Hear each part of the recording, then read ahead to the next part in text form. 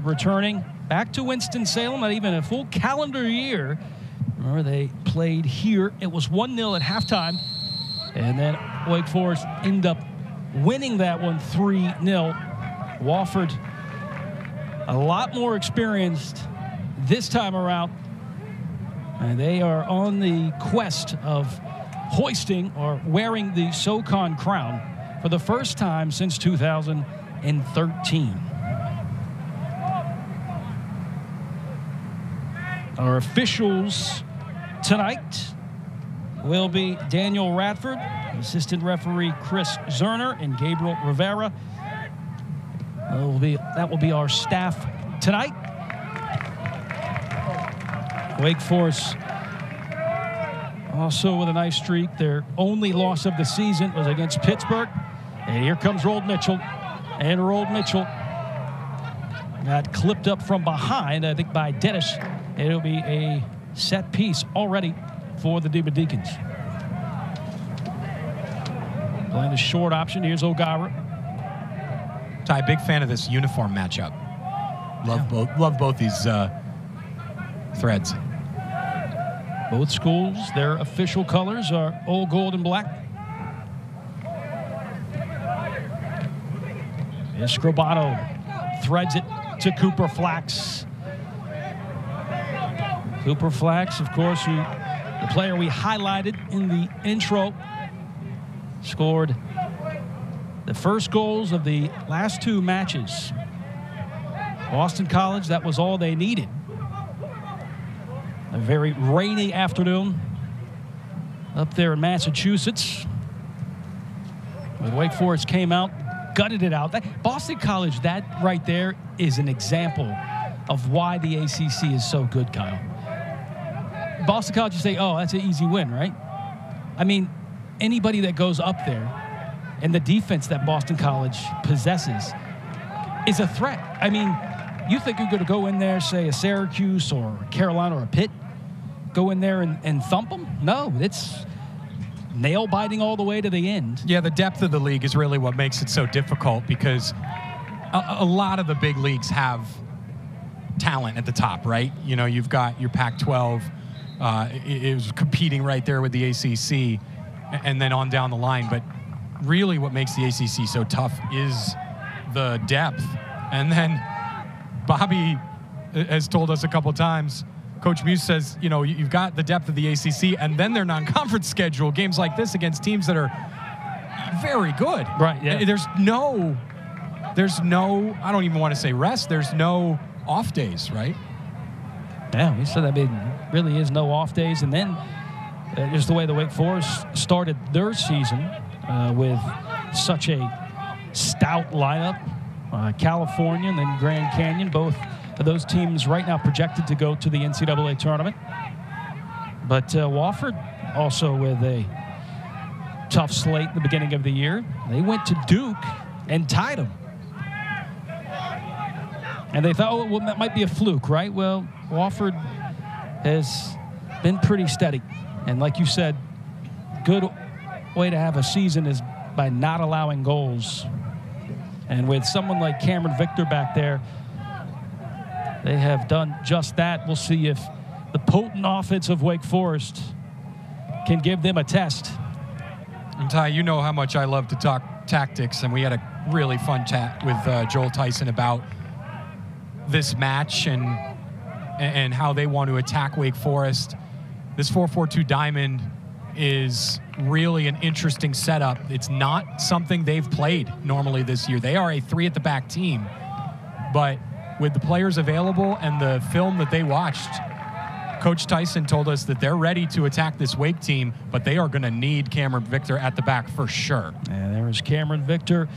No goals allowed, nine saves in the last three matches, five shutouts in the last six matches, 287 shots faced in 28 games played.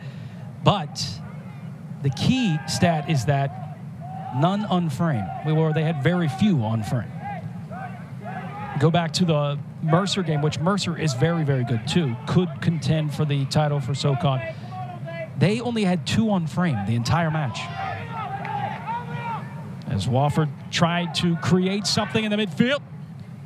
Wallet tried to interject himself as the Terriers look at to shock the world here against number four Wake Forest. They just moved up in the rankings at about 5 o'clock Eastern Standard Times, where we got the latest poll.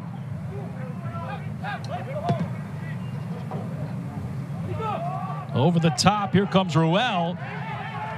Oh, he had a nice beat on Escribano, but Escribano recovery was outstanding. And now the Terriers really working around the 18. They are, but that was a really good intervention by Prince Amponsah. That ball was a, a really solid delivery vertically through the line, and he just stuck a foot out and said no. This Wofford team, Ty, looks really comfortable on the ball. They are not frazzled in possession, but with that, they've managed to keep possession, and then they're playing route one to the striker up front. So they've been able to possess comfortably in their own half and then hoof it forward. It's a weird combination of, of how to build into the attacking half. Looking to try to use the right channel with Wallet. The speed of these gunners on the outside are top class. I mean, they are a headache for defenders. They are. Forbes and Wallet. Absolutely. And that's the weakness of this 4-4-2 diamond tie. And that's where Wake Forest is going to really attack the unique formation today for this Wofford team because th those fullbacks in the 4-4-2 diamond are going to be on an island with the wingers. And here's one of them now. Forbes. Escribano looking up. Nice. In pass right center to Flax, then over to Forbes, and Forbes sent it over the bar. And Forbes, at least with a good look. And there is Coach Steve Armas, the associate head coach. Coach Muse unable to attend. He has a family obligation he has to attend. So Coach Steve Armas will be the acting head coach for tonight's match. Right beside him is Dane Brenner as the two associate head coaches.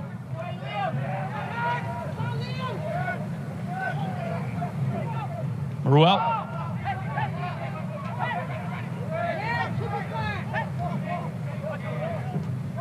The Terriers getting aggressive here, moving their line all the way up. You see Jones moving up now. He'll come right back.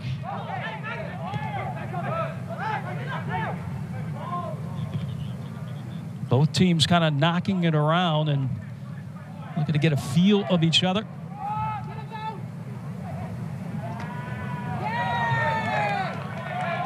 There's Tubbs. And Kijima quickly getting covered up by Gorst. The intervention is won by Wofford. Wofford's held the majority of possession so far, it feels like, Ty. At least the majority of the attacking possession. They've done a lot of it in their own half, but Wake has not really been able to impose their traditional dominance in this game so far. That is a very unlucky bounce yeah, for Liam O'Gara because he had tons of space to charge into. I don't think he quite agrees with it. Pop did pop up, and the official will say it's a free kick on a handball. Now, Wofford tried over the top. It looked promising, but Escribano was able to get back there in time.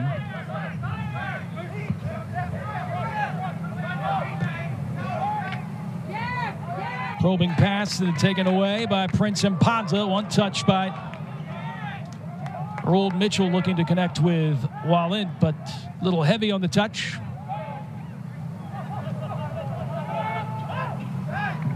Well, the pitch looks nice after an extended time away. Deeks glad to be home.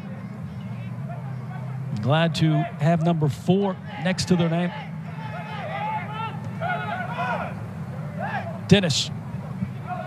Dennis kind of looking for an option, and that was a very tough play with a row in between two Wake Forest defenders with Forbes. Lurking. Well, the Terriers working into the center of the pitch as they create another attack. Gorst sliding it over to Parker as Parker looks up.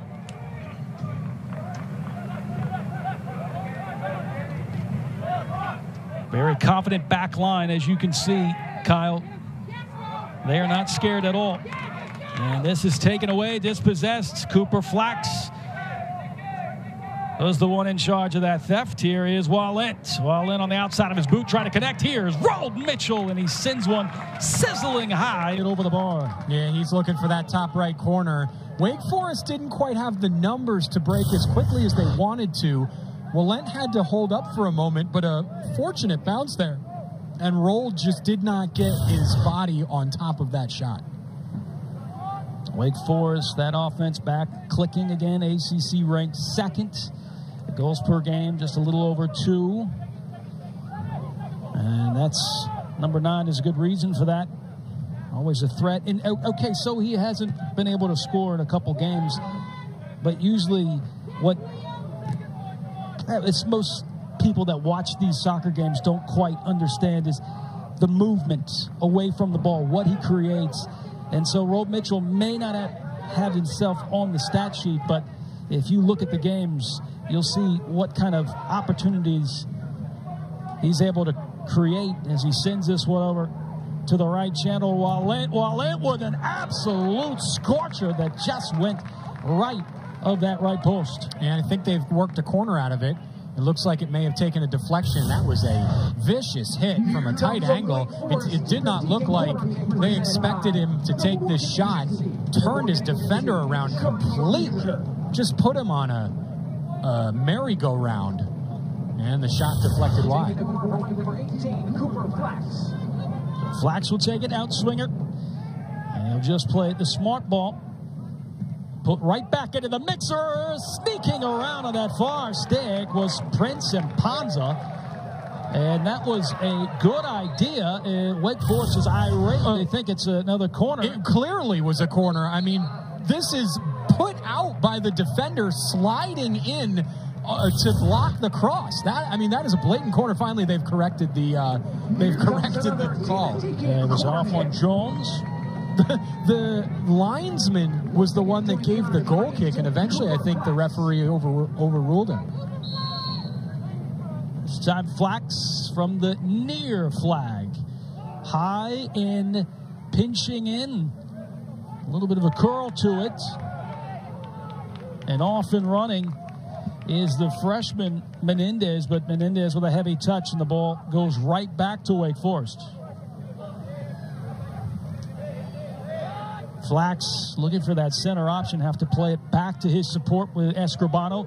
Flax in the pocket, plays a square ball to O'Gara, and O'Gara the long ball diagonally going towards that flag as Walent, even with his speed, couldn't quite get it and reach it before it went out past the byline.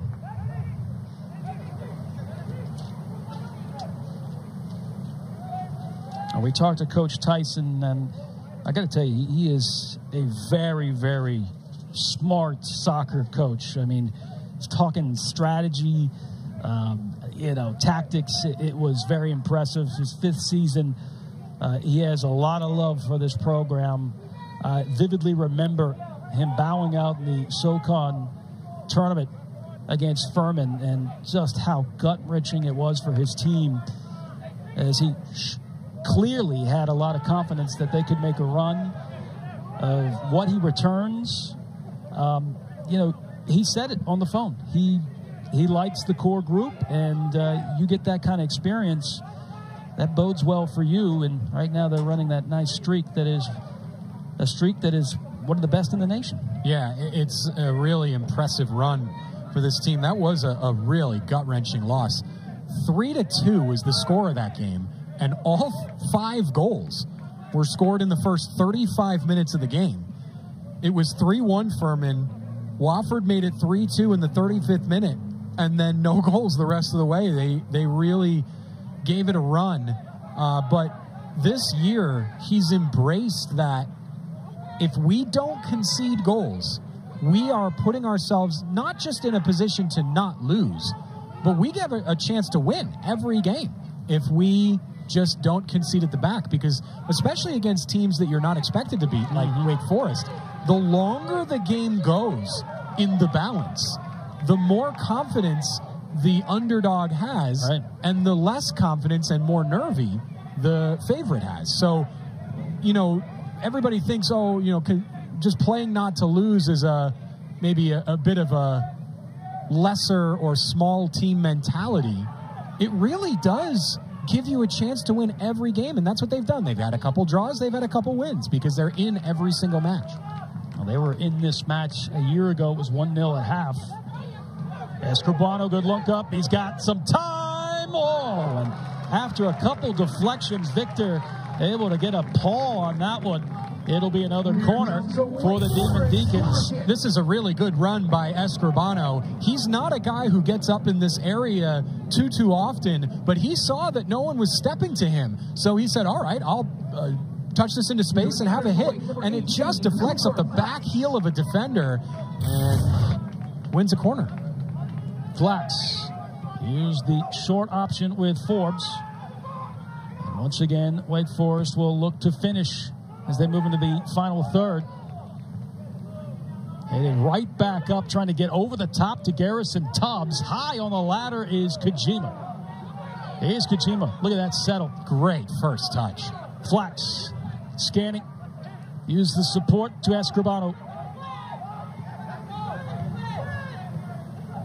Orchestrating another attack as Wake Forest camped out here on the final third.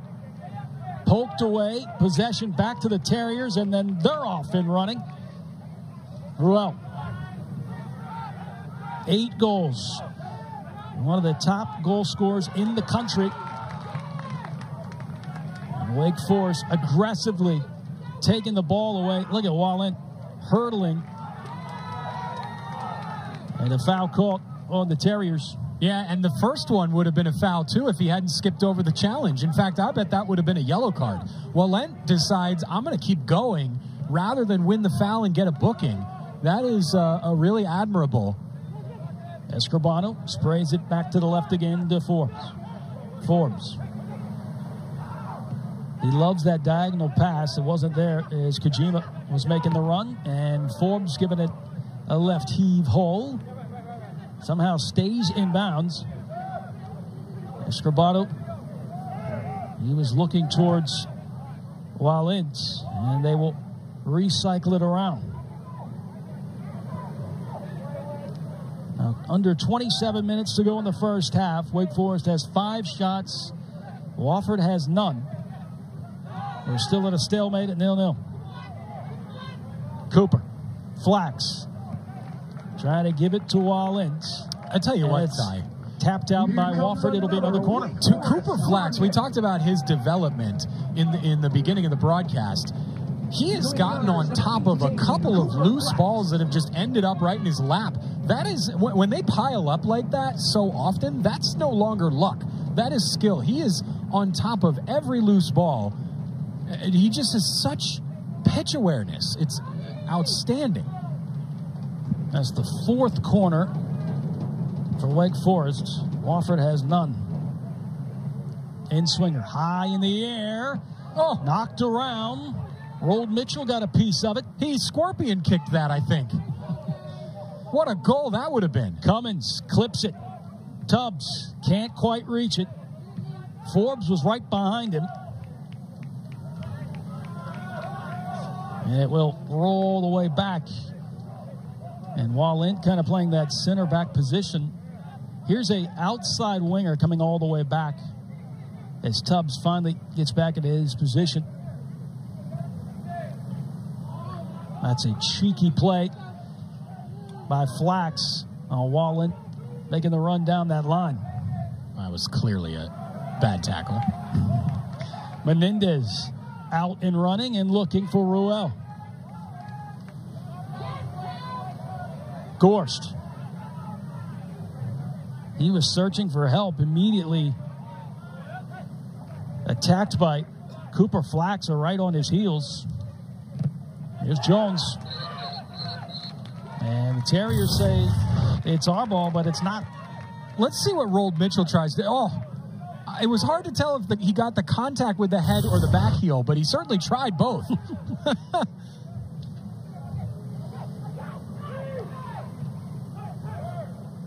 Kijima sees some space and continues to surge ahead. Forbes. Oh. And he is going to be ruled offside. That was close. He, was he, doesn't uh, fight it, though, so clearly he knows best. So the side judge says he is offside. We'll get a look at this. Tried to hold his run. Yep, he just was off a little bit early. I think Kijima probably could have played that ball a little bit quicker and either decided, hey, I'm going to drive this all the way on goal or make the pass. But how about the afterburners on Hosei Kijima right through the middle, split two midfielders? And he sees space, he will attack it. It's Cummins.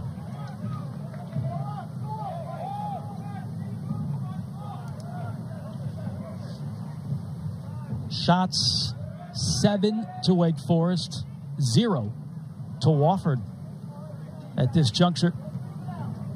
As we move closer to 23 minutes remaining. Yeah, I mentioned early in the broadcast that it seemed like Wofford had most of the early possession.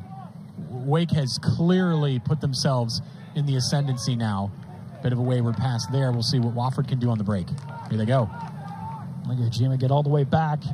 It's pushed up ahead. Ruel will not win that battle against Tubbs. Tubbs nifty pulls it back. And now Wake Forest working into the midfield. How about that from Garrison Tubbs? He faked like he was going to shield the ball out of play and then just snatched it right out of the opponent's pocket. Flax. Nice little space. Plays Forbes and Forbes across. Forbes with a shot, and it is going to be sent on the ground and stopped the stomach of Victor.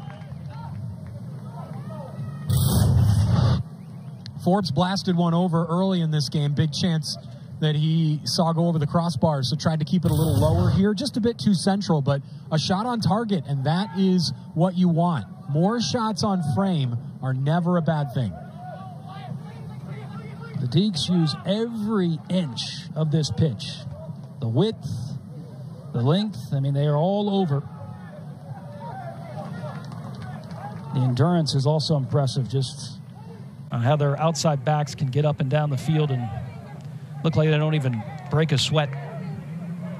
Escribano backing up, still playing in those center channels as Flax plays it to the left. Escribano building again.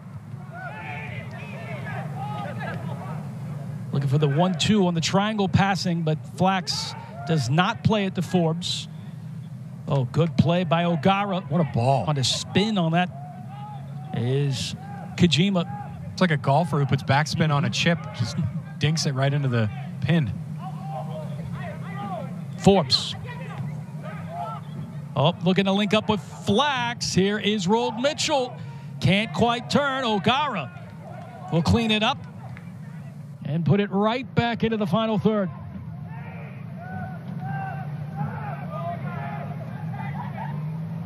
Wofford has 11 players behind the ball now. They are compact at the moment. Deeks are doing everything they can to break down the Terriers and just have not been able to.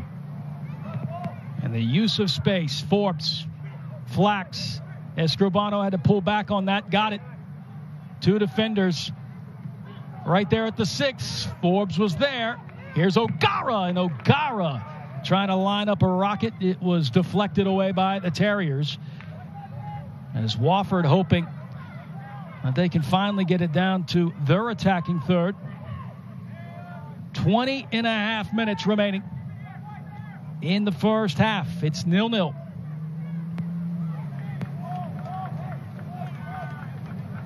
The Demon Deacons moving up to number four in the country as the poll was just released two hours ago. Flax, Forbes, that connection so brilliant. Forbes across, right at the goal mouth, and nobody there. But brilliant work by Flax and Forbes. Ty, you mentioned at the beginning of the broadcast the chemistry that those two have built. You can see it. Cooper Flax is trailing every play because he knows that Jahlane Forbes loves that cutback. And it's been there a couple of times. They've just misfired on a couple of them and had a few sniffed out. That has been the best attacking option so far for the Deeks. They, they can do that in their sleep on that attack, just how they train. Uh, they, they have a drill where they constantly move up the, the pitch, and it's bang, bang, bang. Forbes gets it, and I mean, it is a diagonal pass, and then bang, whether it's Cooper Flax or somebody coming in right in the center or close to the 18, and it is like clockwork. It's a, it's a uh, thing of beauty to watch.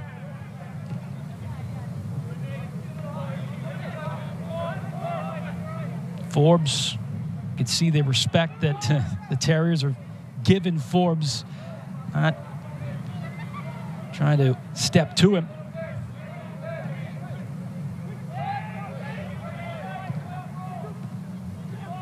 Well played. Flax to Forbes. Forbes left foot swing. It's a cross, and maybe Roald Mitchell did have a look at a little bit far from his boot. And now the Terriers. I want to see if they can work something, but the numbers clearly on the side of the home side. As Menendez just slamming up against the back of Prince Amponsah. Menendez, a freshman from Greer, South Carolina.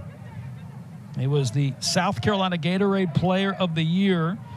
It's the second Gatorade Player of the Year from uh, his Riverside High School.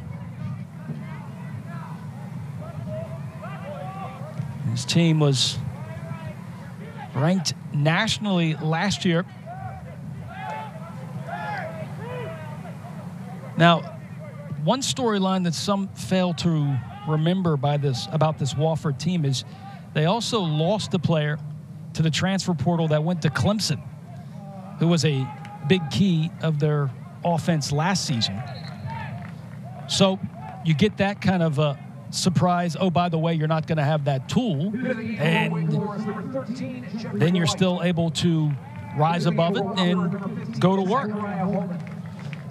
Yeah, transfer portal in every sport has kind of changed the landscape of college athletics. Here in collegiate soccer, it's been a way for players to move up programs and and you know find test themselves at different places, but it can give coaches headaches. Yeah. It can be an advantage too, right? Some coaches can fill holes through the transfer portal, and that's a positive too. So it goes both ways, but it can be a headache sometimes. It was Jackson Roble who went to Clemson. That's the player. He's got two goals and two assists this season. In his first year, Coach Tyson had Buster Sjoberg, who is at Syracuse. Also a very crucial player to that program is. Here is Kijima. Jeffrey White has come in for the Demon Deacons. Flax, one touch. Here's Kijima lining it up. Kijima, one extra touch. Here's a banger by O'Gara, and he put a hole in that safety net. Just couldn't get it down, but uh, a good hit. A little too much. Yeah, just not able to get his body over the ball. Kijima maybe a couple extra touches, but he's got the O'Gara has the confidence to rip those from dead ball situations and from open play. This Deeks offense has started to really meander its way up the mountain. And I mean that in almost a literal sense. You look at the way that Wofford is packed in mm-hmm. when they get all 11 players behind the ball. And the Deeks basically go vertical by being horizontal, just working it back and forth along the pitch and slowly sidewinding their way forward into the attacking third. 10 shots, two on frame. And Wofford still looking for their first shot. Is coming into the ball game just recently is Jeffrey White, a freshman from Tampa, Florida. Oh, there's a lot of talent. Menendez moving up the pitch over here on this right side is Holman. And Holman will get it. Holman looking. He'll play Ruel, but blanketed by Prince Amponsah.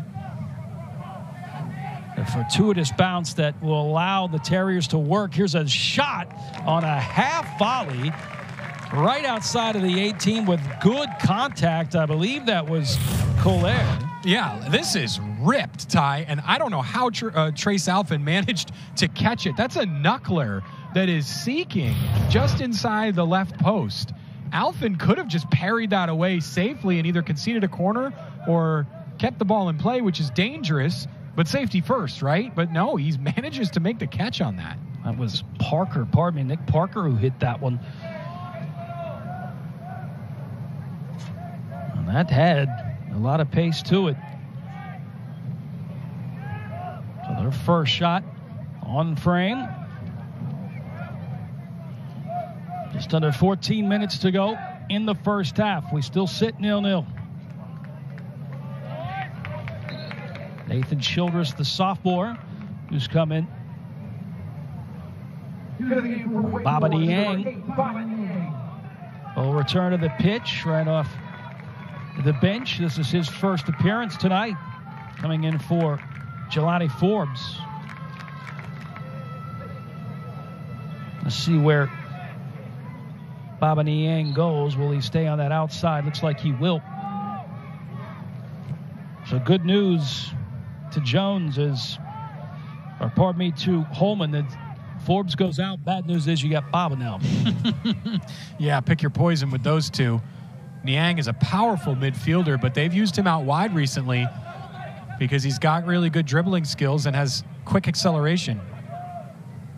Flax scanning again, and the two center midfielders going to work. Here's Flax, spits it out. Here's Baba Niang trying to turn on it.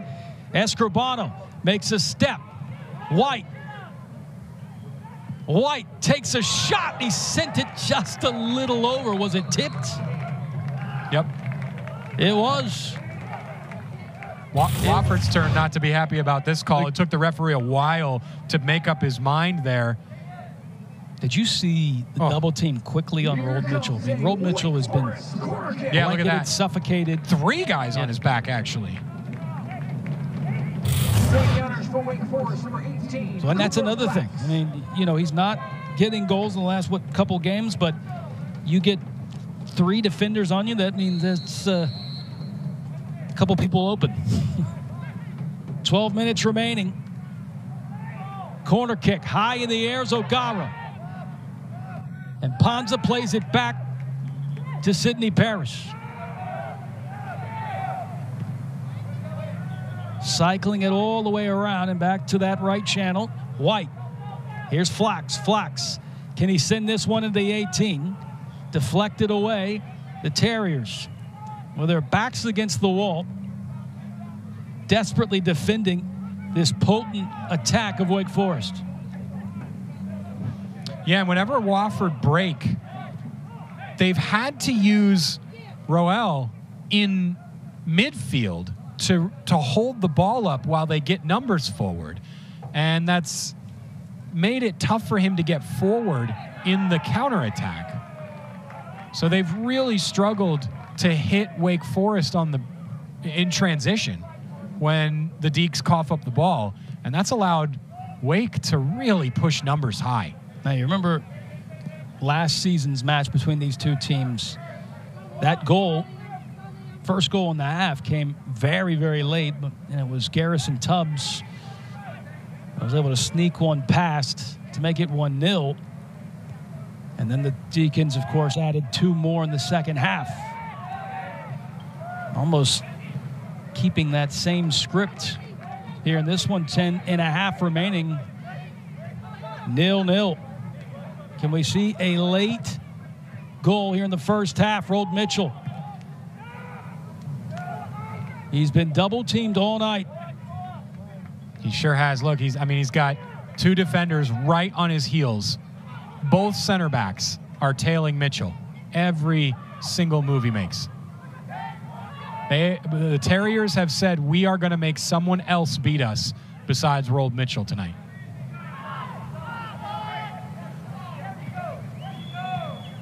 Roald Mitchell chasing on on Victor and sliding as he sends this one out of bounds, lost his footing. Uh, Cameron Victor played three years at Akron. Akron, one of the top five teams in the country. And he is on the cusp of breaking some school records. There he is on the shutout leaders as Terriers.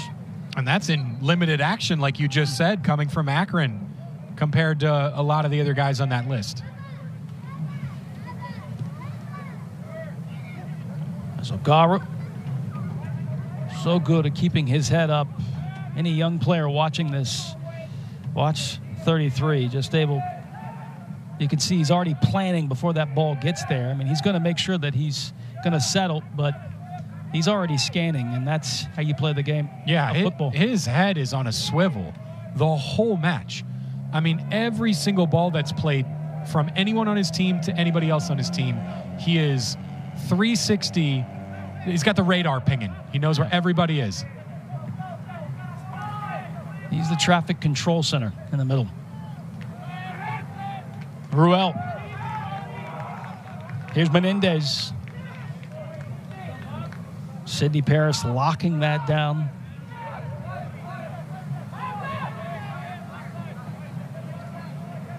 Mohammadi. One of the veterans in the back, number two. Plays Childress. He was on that SoCon all freshman team along with Ruel. Ruel's trying to spin. Good nice tackle. desperation. Yeah, great tackle too. Able to keep that away from Garino as Garino's come in. Jake Swallen into the game, too. The calming presence of Jake Swallen.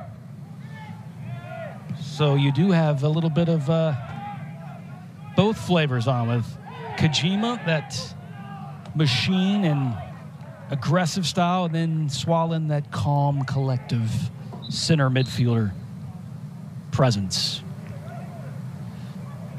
He carries the wand, and you'll see that maybe here in a second. Well, and it's the ball. I think that Swallen has had such a positive effect on Cooper Flax, too. You can see a lot of Jake's game in Cooper Flax.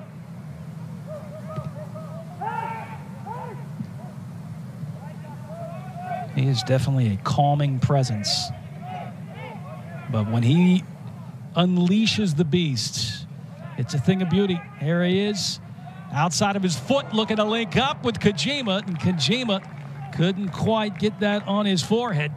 Right on cue, Ty. Yep. You said when he unleashes the beast, then he goes to put the outside of the foot cross right on a platter for Hosei Kijima. I think the spin of the ball puts Kijima off a little bit. He had to, like you said, readjust his body to get back in, in a good position to head that one. Just couldn't get the spin right. And you- What a ball. You saw the wand too. He he'll hold it. It's just his way of kind of keeping his balance. It's it's unique, but it's also it's kind of like he's the he's the maestro of you know the orchestra. But he can also create a lot of magic. And so can Sidney Paris. We saw that against Syracuse. The Navy transfer in his second year as a Demon Deacon. And now the Terriers trying to get some numbers up.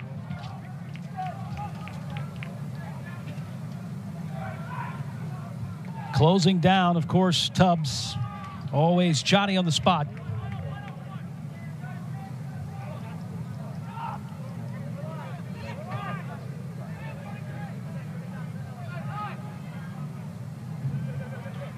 Well, stoppage of action on changing of who's going to throw it in. As first it was Jones, and now it's going to be Holman. Ruel.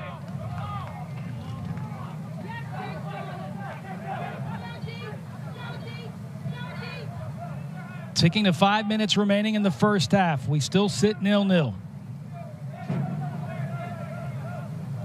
But the Lions' share of possession clearly on the number four team in the country. They just can't quite find that final ball and finish it, but they have been camped out here in this attacking third. Swallen. Sydney Paris gets involved.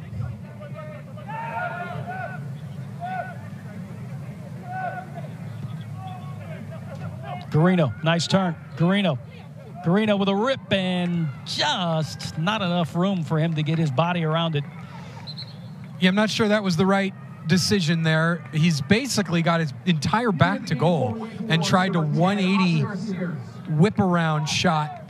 It just did not have the space for it.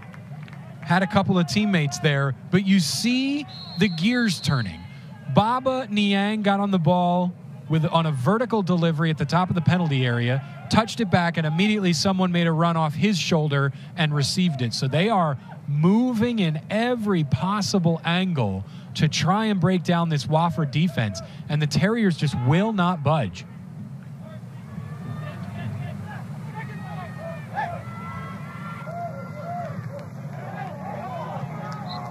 Looking for a handball, and they have been granted that. Clock ticking. Almost three and a half remaining.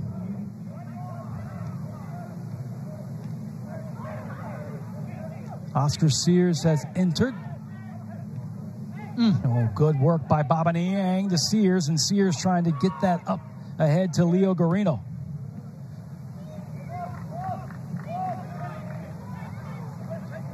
You can see the urgency and the frustration by this Demon Deacon team. They expect to already be on the board right now. Can this be it? Here's a shot, and it's knocked down, and that will spit out out of bounds. It'll be Here a corner. A so another kick. corner. We saw Jahlane Forbes taking corners. He's off the field. Saw Cooper Flax taking some. He's off the field, so here's Jake Swallen with a delivery. Sixth corner for the Deeks, third different taker. Swallen, outswinger, high in the air, arcing, coming in is O'Gara, still in a lot of traffic. Falling down was Amponsah, and the Deacons are pleading with the official for a point to the spot. They want that on Cameron Victor. He fell to the ground and then starts flailing, and I think it's right there. Prince Amponsah goes right over his leg as he tries to put a shot on goal. It's dicey, but you are almost never going to see that called. There's just too many bodies, too many people, too much going on for A, the official to see, and B, for something that subtle to be called. And that is dangerous. Looks like Jake Swallen is all right. But yeah, that is dangerous, especially uh, seeing Jake Swallen finally return to the pitch.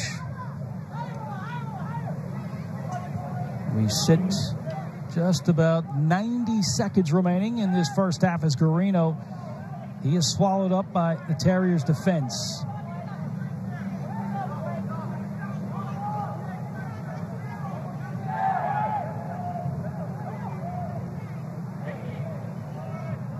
Idea was there.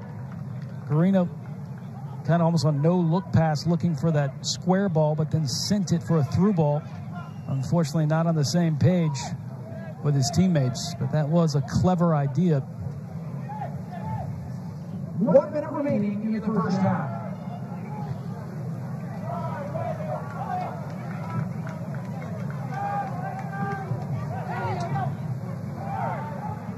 Well, partner, under a minute. And we have 14 shots next to Wake Forest's name. Just one for Wofford. Two shots on frame for the Deeks, one for the Terriers. And Sears, that may have been deflected. He was looking to link up with Baba Niang. And Victor with no hurry at all, even with Garino chasing. And we'll let this bleed out and finish the first 45.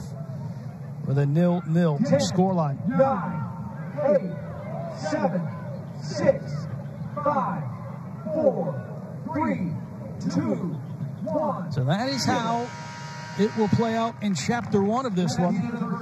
Rematch between Wake Forest and Wofford. Almost way any type of opportunities for the Wolfpack, and it was clearly dominated by the old gold and black. The Wake Forest Demon Deacons, the other team in old gold and black, the Wofford Terriers, the visitors looking for an upset, and they are level with the number four Wake Forest Demon Deacons. What will the second half have in store? Cummins. Jeffrey White gets his start in the second half. Yeah, Ty, you talked about how Trace Alphin's been a little bored there at the back. Since the pit game, he's made four saves in games against Liberty and Clemson. Other than that, in the other five, six saves. I mean, it's not, almost nothing to do. You know, he's just not faced a lot of shots. Well, that's. Well, we came into this year, we thought the strength of the team would be the back line, especially when you have Garrison Tubbs and Prince Amponsah at full strength. And we're seeing that now. And Trace Alphin is will gladly take being bored during a match. He's Cummins pinching in a little bit, playing back and forth with Kijima. Probing pass. Here's O'Gara. O'Gara looked for a window, plays it back to support and Cummins. Cummins with a little Great heavy tackle. touch taken away, but look at the numbers. Is nothing's going to work out if Wofford's trying to get it up the pitch. Now they're able to get some bodies past that halfway line. Yeah, Thaddeus Dennis made a, a fantastic tackle. He saw that first touch coming and cut it out brilliantly. And like you said, there's just nobody there to play the ball to because they're so compact at the back. So if they want to snatch a moment in this game, they've got to stretch a little bit. And that could see this second half get really, really pacey on both ends. Inside the 18, the Terriers looking for that diagonal ball right back to Ruel. Nice turn. Look at the turn by Roald Mitchell. White is his target over here to the right. Deflected as Roald Mitchell trying to get it back. He's able to knock it over to Forbes. There's Kijima.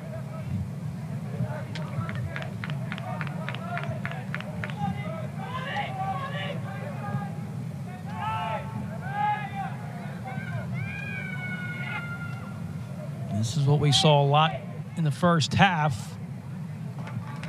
The through ball trying to link up with Roald Mitchell by Escribano. A little too heavy on that touch, goes out of bounds.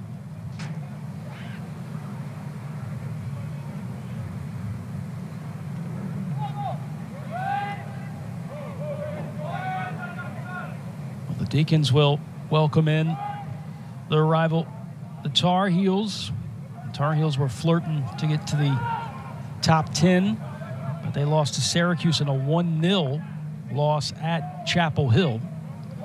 But they are, they are still ranked, and they will be here as the visitors Saturday night for a huge, huge throwdown in the ACC. Always fun when the Tar Heels and the Deacons collide. Doesn't matter what sport it is. There's O'Gara.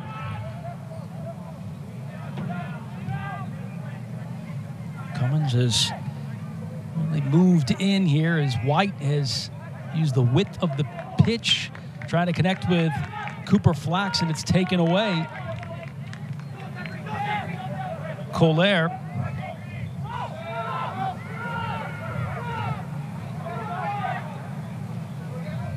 Here comes the press. Able to give it to Anderson up ahead, and Anderson into some space and time. He was clearly looking to go forward, but kind of really not much of an option there. Yep, and Wofford I think is now making an an intention of possessing the ball because in that first half, they just had nothing on the counter. And so here they've said, let's ourselves play a little defense with offense. The more we possess the ball, the less time we allow Wake Forest to have it. I think in that first half, they got a little trigger happy with the, the counterattack, and it let the Deeks onto the ball a lot more than they wanted. It's a good step by Terrors defense. Mitchell thought about turning, plays it back to Flax. Jeffrey White thought about possibly sending that long ball over on the switch, but played the right ball and played the smart ball. Ruel somehow keeping that in possession. Yeah, that's your striker in his own defensive third with his back to goal. I mean, I- and there's just no options, so he has to play it back. And it's it's pick your poison right now. Do you want to counter and risk coughing the ball right back up, or do you want to possess and allow the Deeks to recover? So it's been tough right now out of that low block for the Terriers. This is a chance. Anderson, 1v1 with Cummins. Cummins able to knock that one away. And it's last touch by Anderson. and It'll be a goal kick.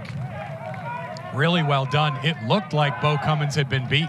It looked like he cheated a little bit to the inside and allowed the winger to cut vertically, but he recovered with a great step.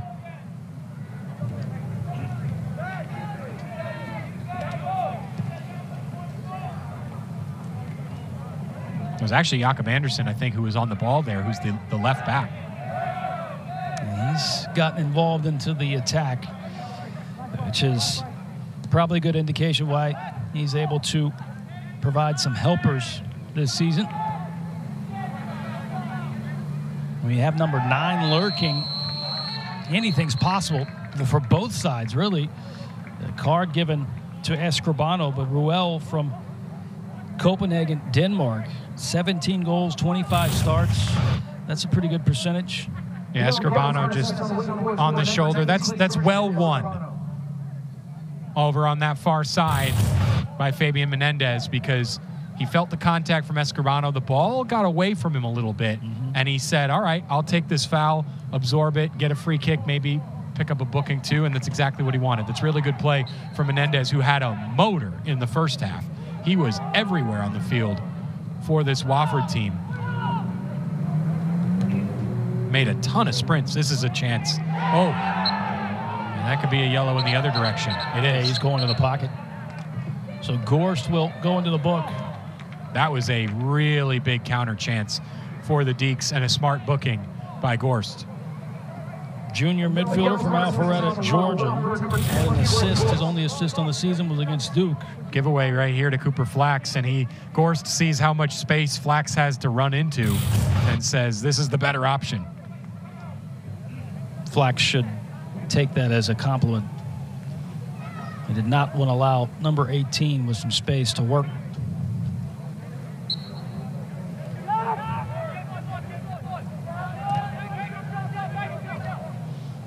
White, can he be the answer to finally get the Demon Deacons on the board here?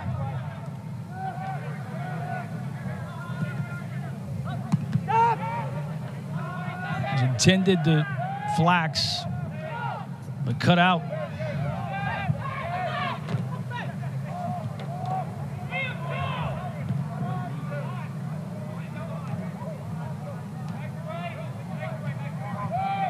I'd love to see how many passes Wake Forest has connected in this contest at the end of the match. It's a lot. Spoiler alert, right? As Roald Mitchell able to turn. Jeffrey White, flag stays down. Jeffrey White, and that is going to be smacked around and it crossed the line. Forbes said it did. Will they check it? He's going to check it immediately. That's exactly what the ref's going to do here. Is he's going to go take a look because it uh, it was really hard to tell from up here at least if that crossed the line or not. The goalkeeper came out and and palmed it away, but all he did was pop it right into the air, right on the goal mouth. And this is going to be fascinating to see White with a great cross. It pops right up. Oh, that's it. And oh, I don't know if there's Yeah. enough to give it. Uh, yeah, I, I mean, but where the where he played it, he was inside the net. If we I don't know if I saw enough there, Ty, that I would say confidently watch, that's a watch, goal. watch this. So this is exactly the vi- the view right now that the official is looking at. So mm-hmm. That's past the line. I, I, do- I don't. I'm sorry. I don't think there's enough video evidence there to, to overturn this. I mean, I don't even know if it's overturned because I don't know what the call was. But uh, yeah, I, I don't think. I don't think Ty. I know what you're saying. It looks. It looks like that his foot is over the line when he plays the ball, but there's just not enough here on that. And I think that wry smile there may be uh, evidence enough that the Terriers know they might have gotten away with one. But just on that on that view, i i there's just not enough there. The burden of proof is on proving the ball went over the line. It looked like it probably did, but hard to be sure. Well, I'll uh, I'll keep my mouth shut.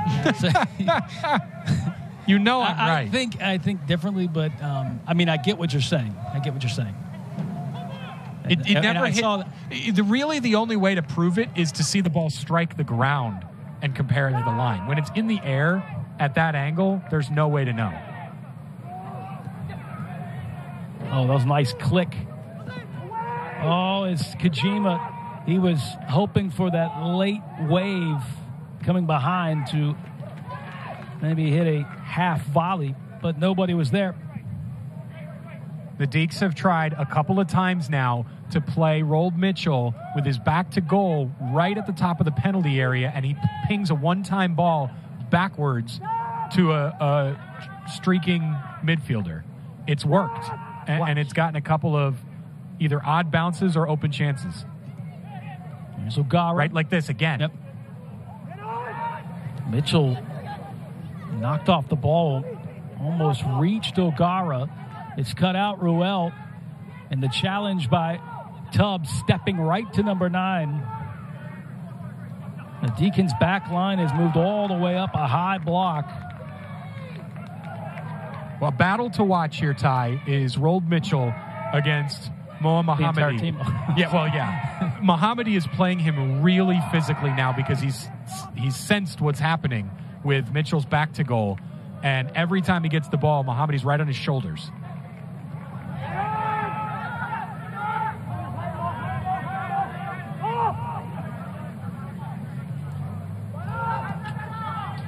Deacons riding a five match winning streak. Wofford unbeaten in nine. So the streaks have collided here tonight in a Tuesday night non conference tilt. Something's got to give there. Mm-hmm. Wake Forest has not been defeated since that loss at Pittsburgh.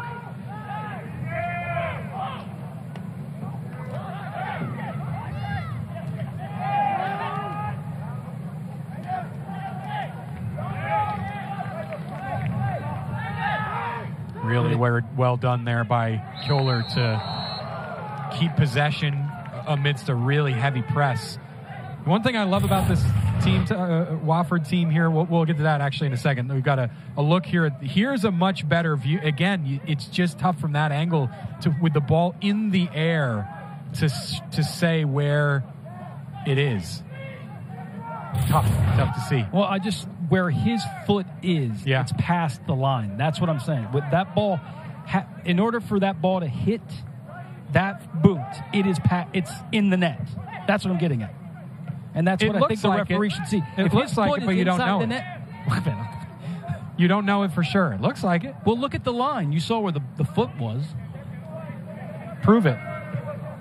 after the foot. So after the foot hit it, then it goes to the post or the bar. It's bang bang. I digress, but Well, one thing, Ty, I was going to say earlier before we went to that replay. One thing I love about this your team, thoughts? love a team Yeah. that has players that wear the numbers of their positions. We need to Yes, get back to I lo- that. I love that. Get back to that. No, number six playing to number six. Number ten playing to number ten. number nine playing to number nine. Give me more of that. Yeah, that's uh, Coach Tyson for you, man. That's on the players I- too. well, yeah, I mean, Good ball. for all broadcasters, we appreciate that.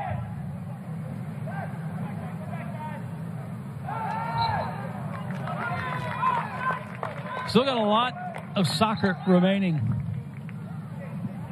32 and a half here in the second half, and it's nil-nil, but clearly this match has been dominated by the number four team in the nation, and unfortunately with how soccer works, you got to get one in past the posts. And thought that uh, Wake Forest may have had one that was close.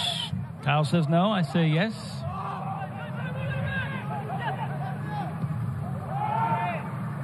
But but regardless, Wofford, the defense is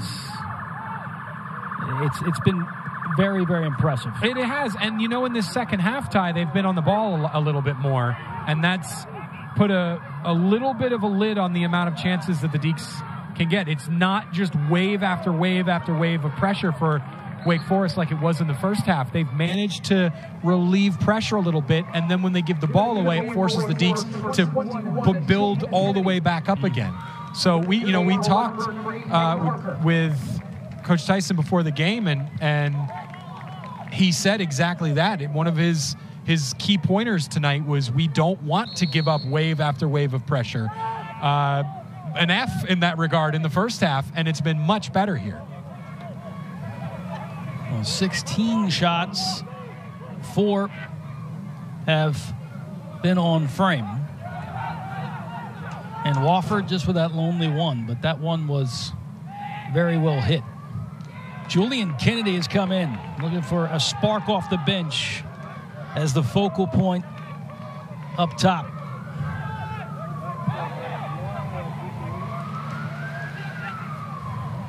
Could he break the ice? What a ball through the lines. Oh, offside. Tough call. Yes. But I mean, that is gorgeous. When it's between two defenders like that, it can cause a little confusion because sometimes the defenders don't know which one of them should get it and which one of them should stay back and uh, or stay off. And you saw it there. The two defenders kind of looked at each other like, which one of us is going to clear this?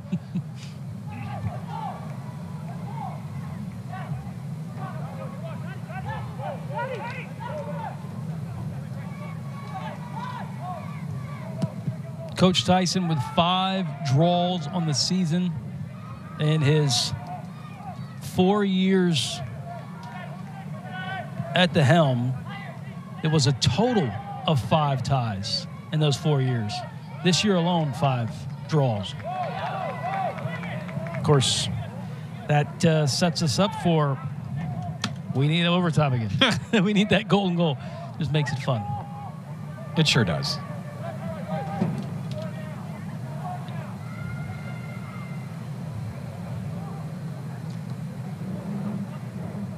Our control room doesn't agree with us. Well- I thought that's just in, but uh, That's not surprising. it's not.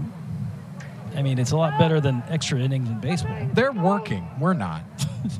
We're just having fun. We'd love another 30 minutes of this. They're we at would. O'Gara. Here's Cummins. They make us look good. We just get to have fun. That's right, we do. Tripped up is the point of the block. There is, the point to the spot. As Forbes got hooked over there, just inside the 18, and it was number 15, Zachariah Holman, that hooked him. Yeah, what a way for the Deeks to potentially get uh, the breakthrough here, right on the edge of the penalty area, and and a needless tackle because there's help behind. You know that would give Forbes a little bit of space if he's gets through, but he's certainly not in on goal. Uh, it's just a clumsy tackle, well worked by Jahlane Forbes, and here's Julian Kennedy. Well, the team that is no stranger to PKs will get another one. They're five of six this season. And Julian Kennedy, who got a goal against NC State, trying to tack on another one. Back to back games. Here we go. Kennedy makes it official. It's 1 0, and the Deacons have taken the lead.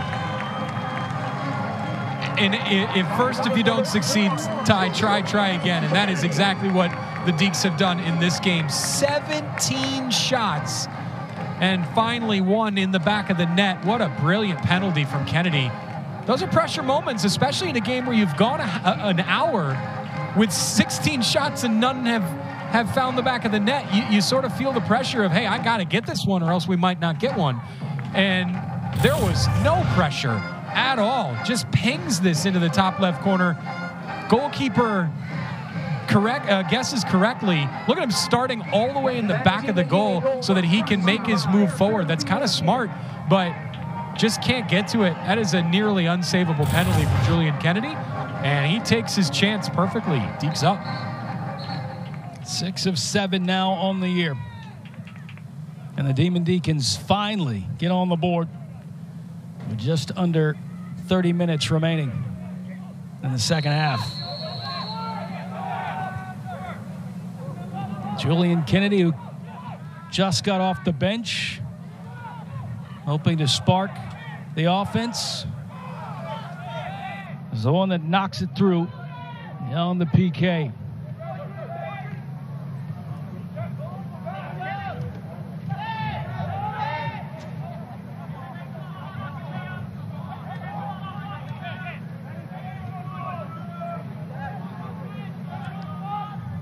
Kennedy had a goal against NC State. He chipped the keeper. Also had a goal at Campbell. And he gets one here tonight. And now we'll see what Wofford does trailing a goal because they, it, the impetus is now on the Terriers to move forward. And that's what they're doing here. Could make for a very open game. Let's see how open they want to play, trailing with 28 minutes to go.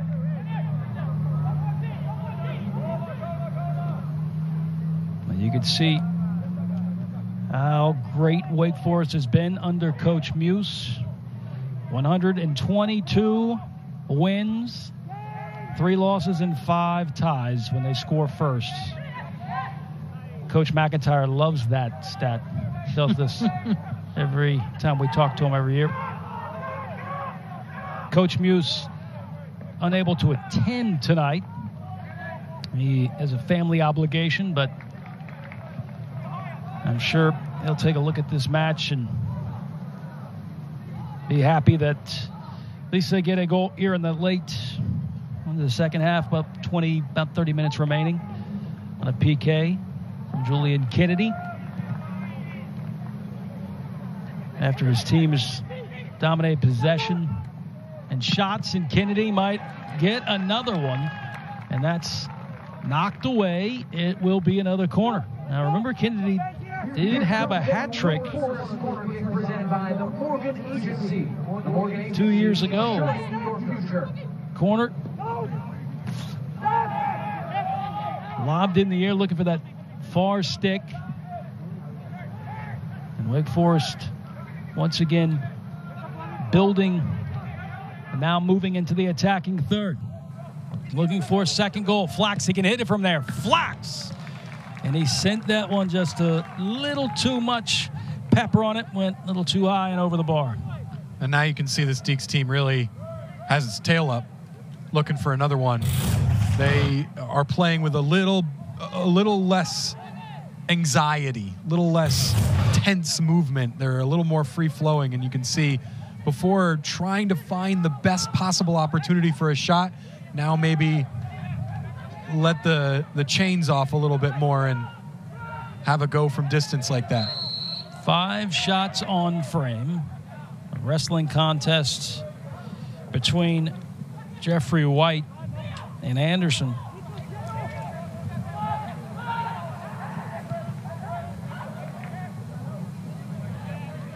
Good step, Sydney Paris. The Terriers. Not a lot of black kits in the area. Yeah, and that's been the story of this game, Ty. It does feel a little bit like it's been 11 on 10. It just feels like the Deeks have always had a few more guys in midfield. Kijima. Uh, he connected with Kennedy, but a weighted hit on that right foot sends it out of bounds. Swallen comes back in, as well as Wallent.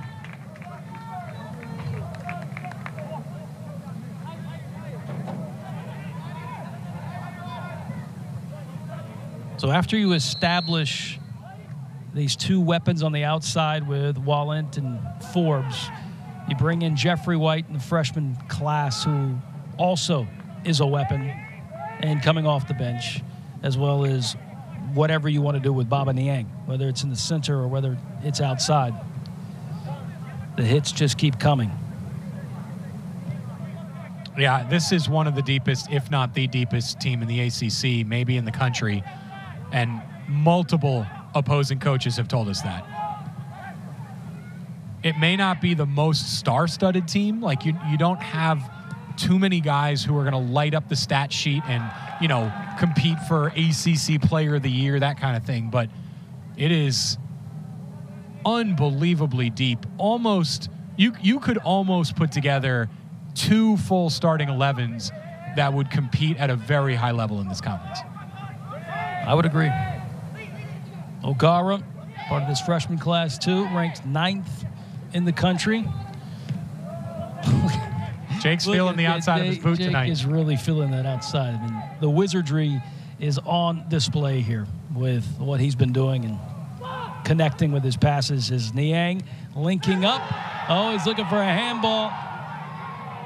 The awareness there by Jake Swallen, the idea on that one touch that was intended to go to the left and it popped up. Swallen is pleading with the official that it the hand of a he- terrier. and he had the best look at it Yeah. too, right? And he is just incensed that that was not called.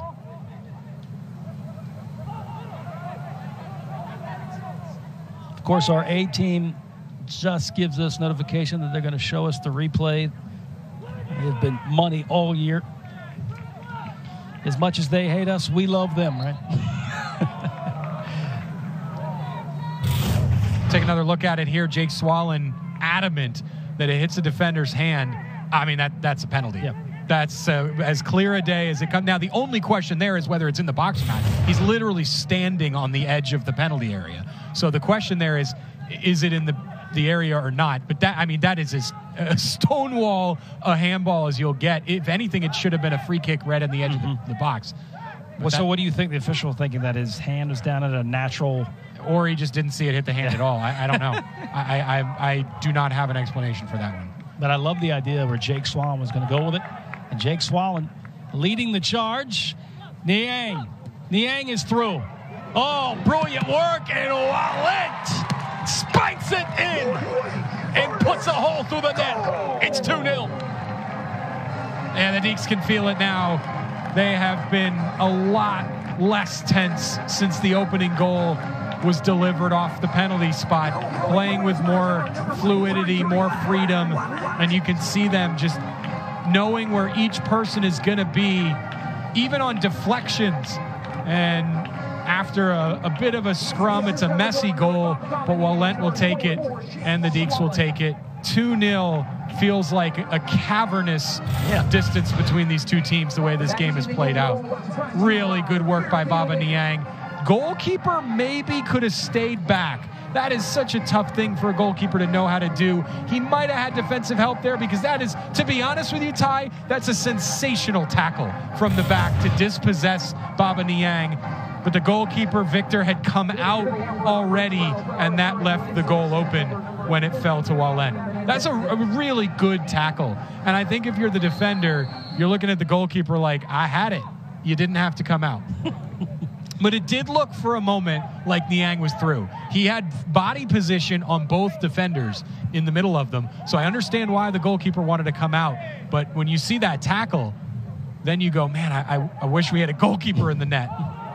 Wallen has three assists on the year, and he finally gets his first goal of 2023. And you can see how happy he was by just the pace he sent that ball into the net.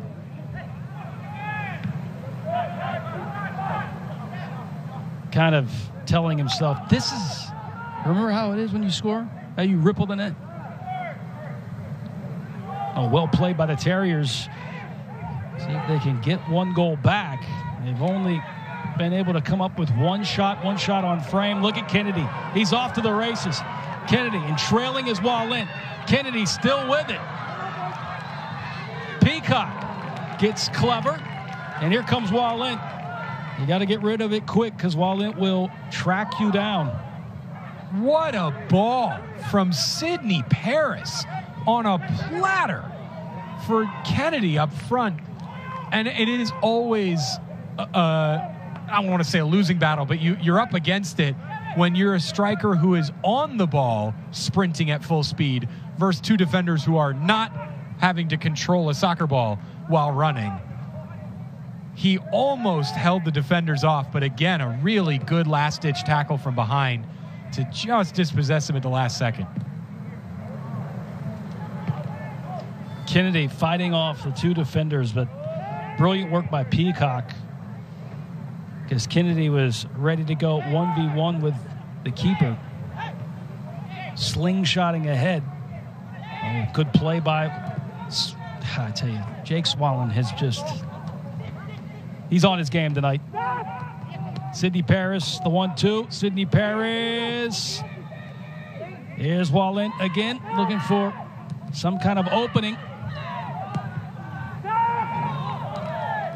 Kyle, if you have Jake Swallen playing like Jake Swallen in 2021, Kijima playing in like in 2022, right before he got injured, and then you got Roald Mitchell being Roald Mitchell uh, in the defense playing like the back line is played. That is a recipe for a very, very, very dangerous team. Yeah, it sure is. And they're still looking for a couple of those ingredients to really hit their zenith here this season, but they're close. I mean, Swallen has played the best we've seen him play in years in the last couple weeks. Here he is again. So smooth. Niang trying to turn with his left foot to send that one across. It's deflected out. It will be another corner. We've seen a lot of corners. We'll see another one.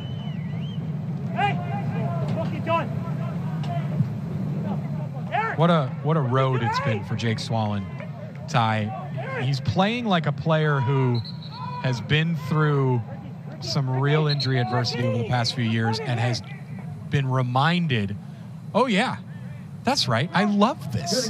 This is fun, right? And it's really cool to see a player who has sort of rediscovered what they love most about being on the field. Well, it is a sight to see. And when this team is clicking, it is a sight to see. Swallen. Tight spaces eh, as Sidney Paris was trying to send a diagonal ball, was deflected, knocked away. This is the ninth corner for the Demon Deacons. Niang, he can hit it from there. So can Sears. And it's deflected off. It will trickle over to Victor. We sit 2 0. The final last year was 3 0. And looks like Wake Forest has no intentions of slowing it down. They are not satisfied with a 2 0 scoreline after dominating since the first whistle of this match. 21 shots and six on target two in the back of the net, arguably three. We're going to see another replay. We're going to see some like uh, social media video of it. And then I'm going to throw it to you. I'm going to send you the gif of Keanu Reeves. Not like this. not like this, Ty. this is not the hill to die on. Oh, okay. it's a booking for, I believe, Garrison Tubbs. The yellow card comes back out of the pocket. And I think it's that's Prince Amponsah. Prince Amponsah, actually. Yep, he's the one that steps up. That's just a bit late. The, the school of Kovacic. Yeah. You know I was going to bring that up. Yeah, well, no, I didn't. Oh, you didn't? I, Well, did, I didn't about know that, but uh, that, uh, yeah.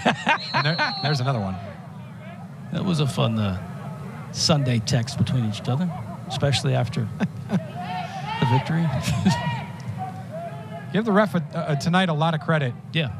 I think he's had just about a perfect game. I know you slightly disagree with, with one, but he's uh, uh, uh, controlled the match very well. Uh, unlike some of our uh, his, his Premier League colleagues over the last few weeks.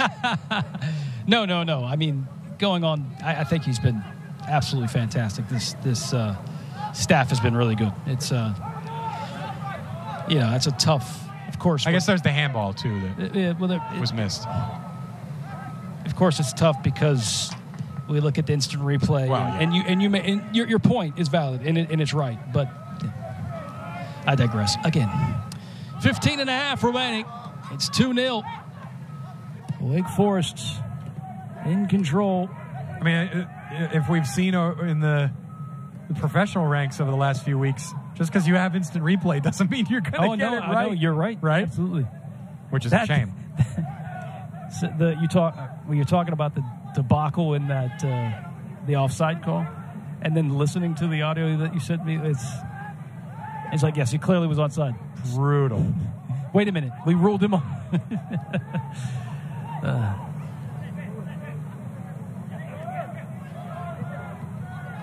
under 15 to go. The Deacons leading 2 0. Seeking some more. On the verge of another clean sheet. Oscar Sears into a pocket of space.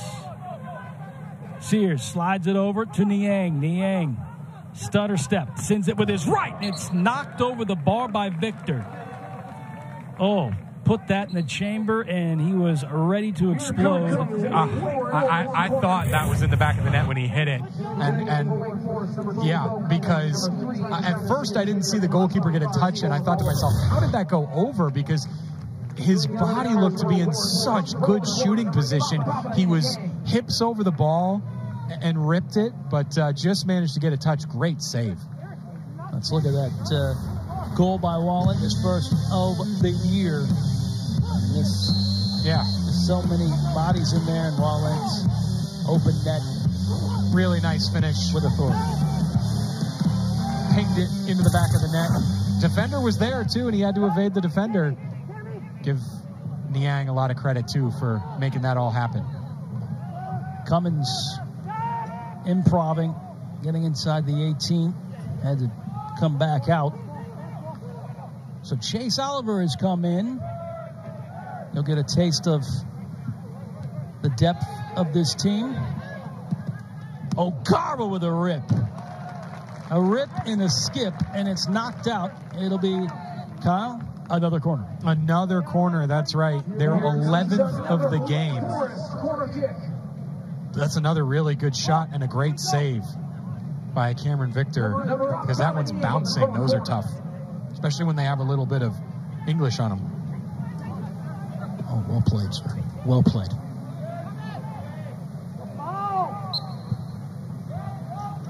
I'll be here all night. Well, if we looked at the field tilt, it would definitely show an unbalanced number in favor of the Demon Deacons, clearly also by the amount of corners that Wake Forest has had. Wofford with no corners on the night. Yeah, it's just been a tough night for Wofford. They came in with a really good game plan, just have not been able to make it work. And you got to credit the Deeks for how they've played this game. I mean, they have just been so exceptional in, in the attacking half. But Wofford came in and said, We're going to bunker and counter. And they did exactly that. But every time they countered, they just didn't have the numbers for it. And the Deeks managed to hold firm 1v1 and there was no help for Wofford. So here in the second half, they've said, all right, we, we're going to sacrifice the counter to try and possess the ball a little more and keep Wake Forest from having as many chances. And it worked through the first 15, 20 minutes of this half. And eventually the Deeks just again imposed their dominance because the Terriers just had no way to build forward in possession against this Deeks midfield.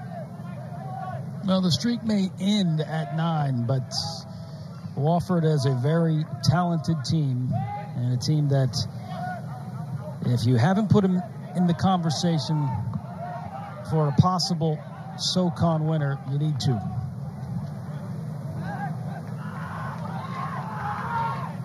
As this defense will keep them in any match. And when you have somebody that can score like Ruel, I think you're in good shape. Yeah, no question about it. A- again, you have got a chance to win every game when you concede just zero or one goals. Want to want to shout out Julian, Julian Kennedy. He has been exceptional up front. He just made a wonderful tackle that got the crowd up. Uh, he's done everything since coming on for Roald Mitchell, and and I mean, not, take nothing away from Roald Mitchell, who dealt with a double, sometimes a triple team all evening. But Julian Kennedy has really brought that striker position to life up front for the Deeks, and everything has happened since he came on the field. And they were looking for that spark, and Julian Kennedy, even though it was a PK, he did provide it.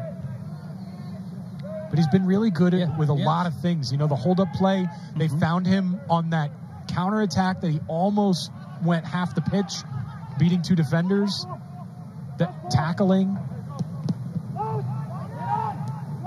Paris tried to send this one in low. And it was knocked away. And a foul called, which will give Wofford a free kick. And stoppage of time is looks like an injured Terrier. Yeah, a couple of subs here as well. I think will be coming on. I think uh, Leo Carino is going to see some time for Wake Forest. Hopefully that that's a good sign too, though. Paul Jones getting up, he's all right from Irmo, Irmo, South Carolina, and he is back up. Just under 10 to go, with his team down 2 0. No reason to keep their head down at all. Is Wofford, especially under the guidance of Joel Tyson, you look at, you take away the COVID year, he has progressed every year from 2019 four wins, 2021 five wins, 2022 six wins. Now he's in pretty good standing to get past the six, maybe seven wins. A win won't come tonight, but at four, two, and five, and in contention of the SoCon championship. I think Coach Tyson once again has made a very, very good jump from the season before. And Kennedy, take a bow. Julian Kennedy is coming off the bench. Big spark plug. And let's take a look at that goal one more time. And that hook that sparked right there in front of the official. And then Kennedy said, no doubt about it. He sends it rippling into the net. Good guess, though, by Victor, too, and still couldn't stop it. But a team that has put up so many PKs, they have to be the most uh, experienced in the PK department in the nation, with six of seven on the season. And they've just done a lot of work in the penalty area. That's what that speaks to is lots of touches in the attacking third and in the penalty area will lead to a lot of goals and a lot of chances from the spot.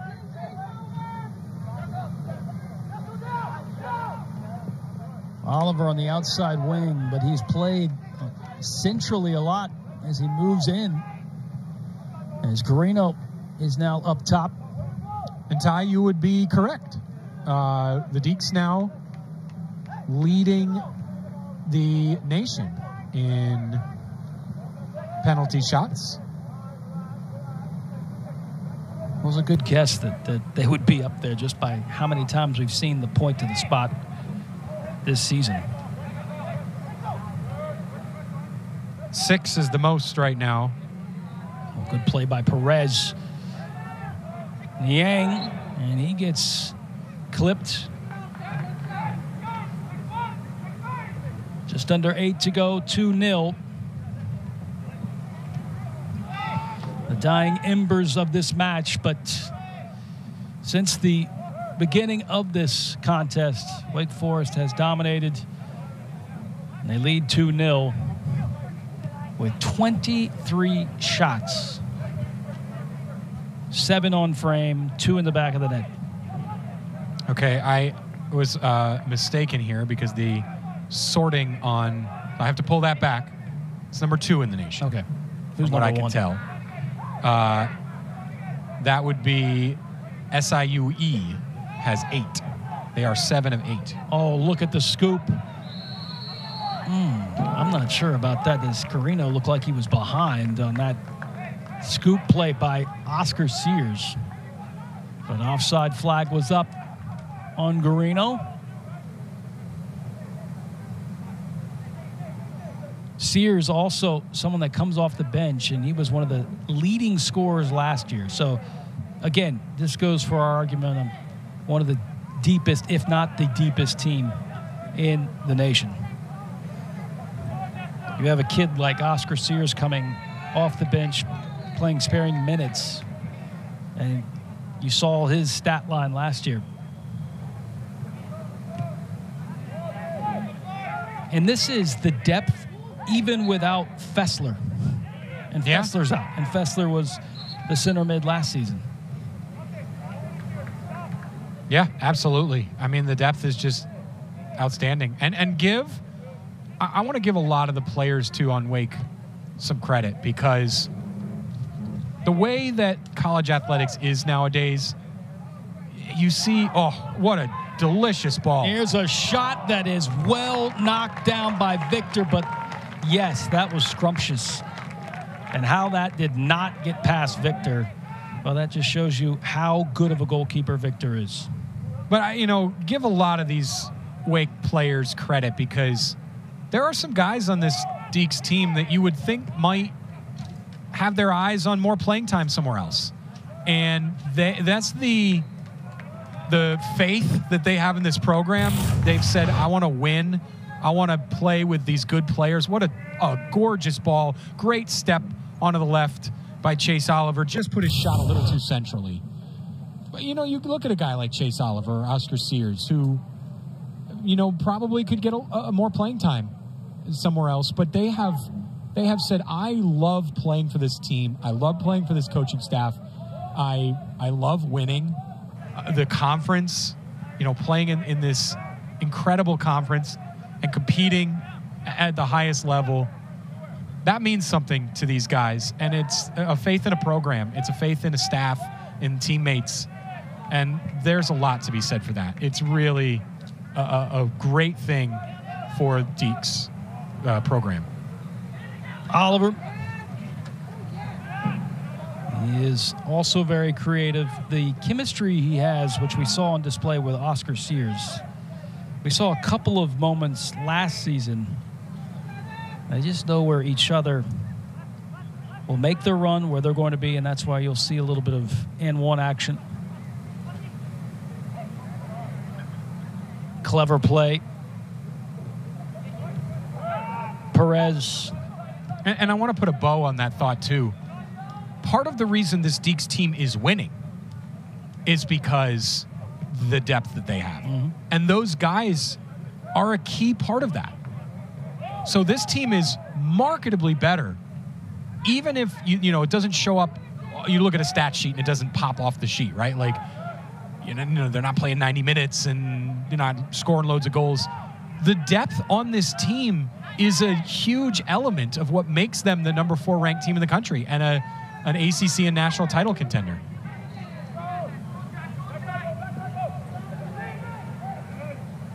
It's the first good look that Wofford has had since they put that half volley on frame.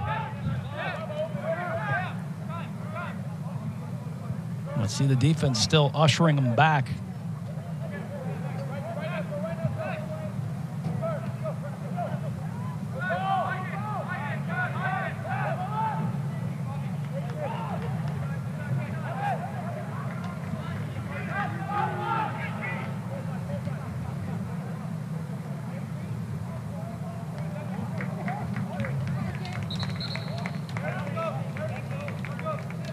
Looks like a line coming in for the Demon Deacons as they have definitely secured this win with two and a half to go. This is the remaining schedule for the Demon Deacons. Of course, we talked about coming up on Saturday night, big, big matchup, an in-state derby between the Tar Heels and the Deacons. Tar Heels 14th in the country. You see where their RPI is.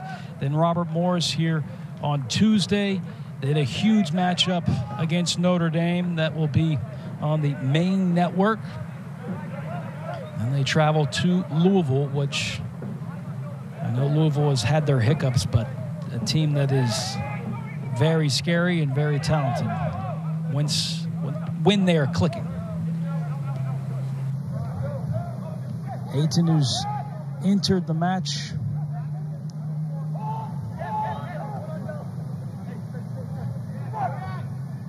Trey Southam coming way off his line.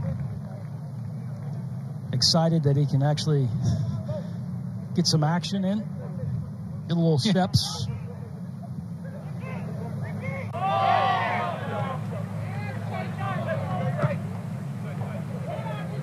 Jakob Anderson will go out, and Eli Jackson comes in.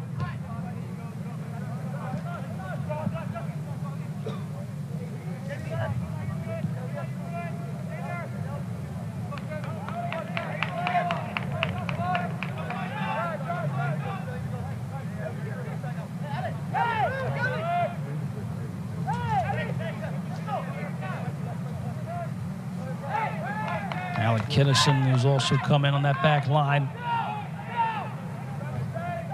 One minute remaining in the second half. Well, the streak may end for Wofford, but there's a lot to look forward to in the future for the Terriers. Just how stout this team is, how talented this team is, and how well coached this team is. So once they get back to SoCon play, I mean, the goal is still clearly in front of them. Oof, what a charge. What a move by Menendez. Menendez hits the ground. Here's Ruel. And what a stop on that near side by Trace Alphin. And Trace says, let's just calm down and let this clock tick down. We want to keep that clean sheet. Yeah, and, and um, Fabian Menendez, though, brilliant step into space. Ten, And nine, he's been the maybe one of the best Wofford players on the field tonight. Really, really good performance from him. Gatorade player of the year in the state of South Carolina. But the Deacons on another clean sheet. They have done it. It is win 100 here at home. One of the toughest venues to play under Bobby Muuss, the Spry Stadium Lights.